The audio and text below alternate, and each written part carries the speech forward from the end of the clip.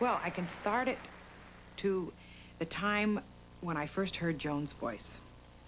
I remember hearing her on the radio when she just had hit it. it must have been 59. And then just, you know, oohing and eyeing and saying, oh, that's the way to sing and. I was, I was really bowled over by the quality of sound and the, the drive that she had, the energy when, when she sings. Marilyn and I sort of hit it off the, the, when, we, when we very first met. We seemed to have the same um, possibly zany outlook on certain things. It's there somehow between the two of us. It's not something that we have to work for.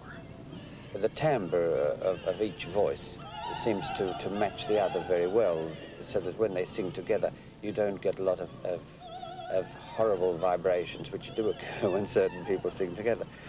They're both good musicians, they're both sensitive musicians, and I think they both like each other, basically, and yet each one inspires the other to sing a little bit better. I think there's a certain rivalry, a certain good sort of rivalry each of us receives something from the other and, and it, it um, urges us to, to sing that much, much better, I think. That's probably one of the reasons why Joan and I have um, had this wonderful collaboration in our singing is because we're both trying for the same things.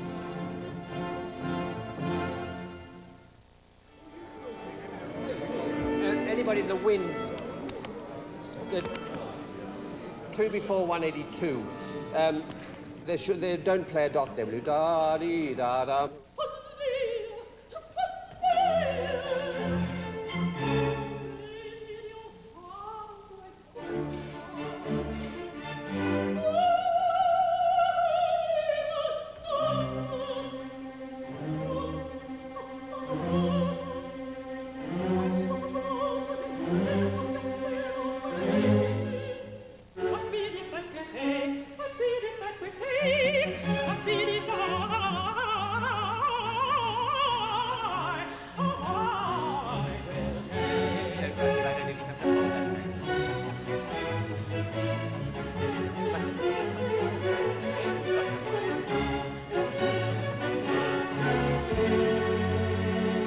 That's it. Thank you very much. Have a break, everybody, will you? Where do you want to begin that? You know, when, when you have a concert like this, it's much harder to rehearse uh, 16 different numbers, or whatever it amounts to, be, than to rehearse a whole opera.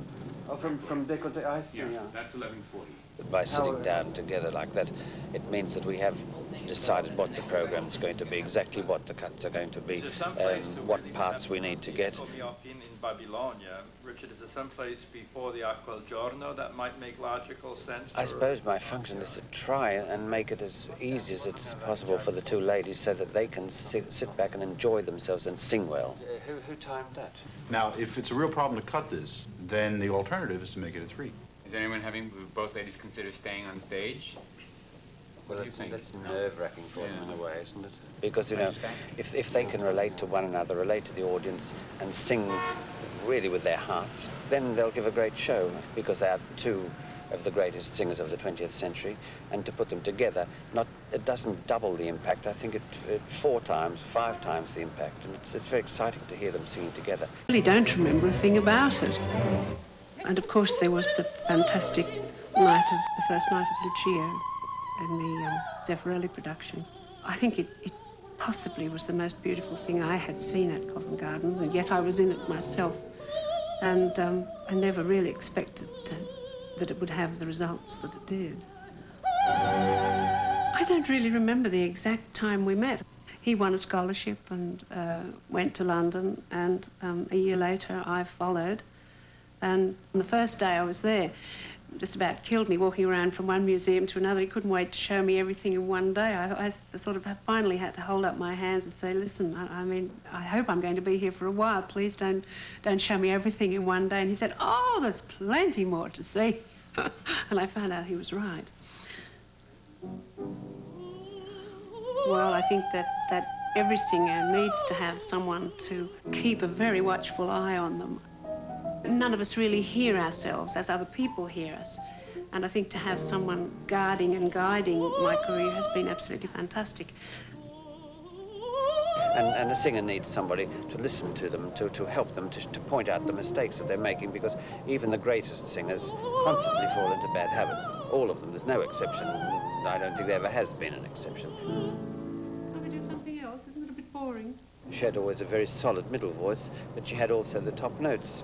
But she used to sing without knowing. She hadn't the faintest idea whether she was singing a high F or a high C or what she was singing because she doesn't have the gift of perfect pitch. But to, to make her produce those notes consciously was, was a very hard job because uh, she had a mental block about it.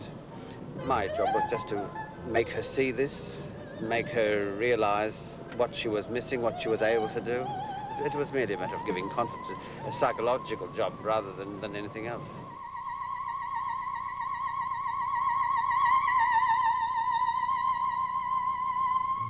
I do tend to play a lot of ladies who are psychologically disturbed, become insane, either kill themselves, drown themselves, die of some sort of nervous attack, poison perhaps, a gentle stabbing.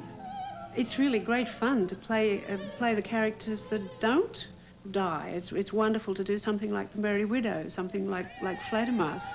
Puritani again is fantastic for the for the story to evolve through all the madnesses and uh, mistaken situations, and come out on top of it actually still still being alive.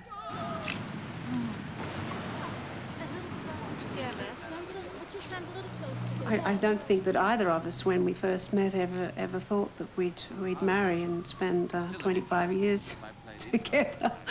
But um, that's the way it worked out. I don't know where they are. How much of it are we doing? I- Can't we do the other piece?